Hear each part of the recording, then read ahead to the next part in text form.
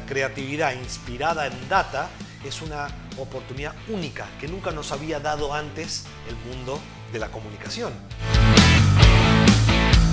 Nos hemos dado cuenta que la mayor tendencia hoy en día es cómo hacer menos contenido, pero mucho más de valor, a lo que llamamos el contenido snack válido.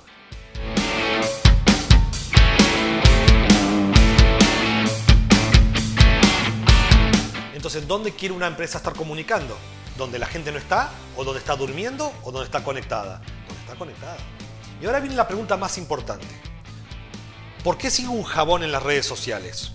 ¿Por el olor a mango? No. ¿Por qué sigo una autopista en las redes sociales? ¿Porque me encanta el asfalto? No. Solo sigo estos perfiles si me dan información de valor.